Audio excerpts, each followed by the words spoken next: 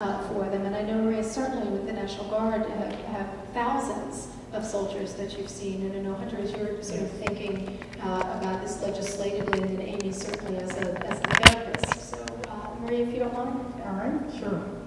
Well, first of all, it is my honor to be on stage with all of you tonight, because I, I think this topic that we, we all experience this evening is critical, and I'm glad that the discussion is being had and you're, you're forcing it in some sense, because it is difficult.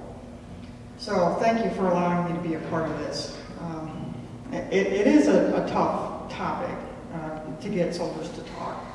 And I, I think um, Soldier Songs in particular did a good job of portraying that difficulty in the darkness. And it made me a little uncomfortable because it, it brought back to mind some of those discussions, not just with soldiers, but with spouses that would come to me and ask for help because now their husbands were holed up in their garage with too many alcohol bottles and a loaded weapon. So, you know, how do you work the family to understand the pain that the soldiers are going through? And so I found myself with the National Guard, we have over 11,000 men and women, and we had deployed over 10,000 since the Iraqi campaign through Afghanistan, and that didn't include Bosnia and Kosovo. So just too much experience with deployments and then the after effect of what it does, not just to the soldier, but to the family.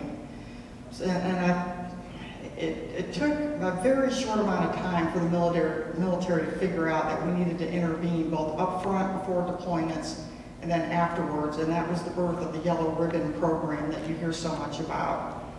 And when we did it with soldiers that came back from deployment, the main, I won't say criticism, but the main feedback I would get is that, why didn't we do this before we deployed? It would have helped us so much more upfront to know we were going to have problems communicating, that there was going to be friction, that there were going to be problems at home that we would feel helpless to solve.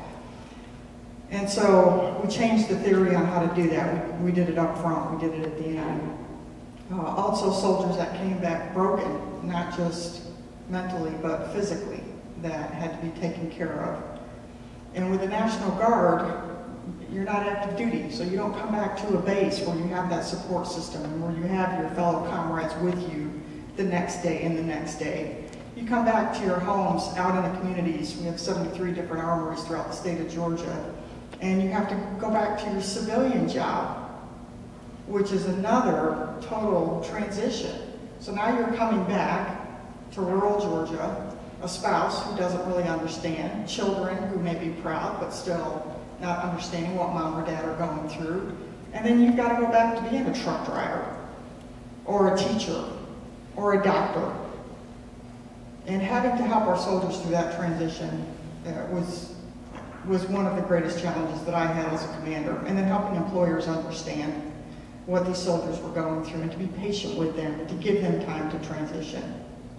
So I felt a lot of emotion as I was watching this, as I relived some of the pain, some of the growth, and also some of the happiness with the reuniting and the soldiers getting healed and getting the help that they needed and coming back and dropping down and kissing the ground at the bottom of the ramp when they got off the airplane. I mean, those are times that you just don't forget, but again, you don't talk about it either. So um, I'll leave it at that. And Absolutely.